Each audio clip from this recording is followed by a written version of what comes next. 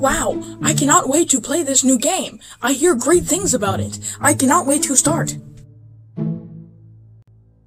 It has been seven hours, and I still have not beaten this freaking level!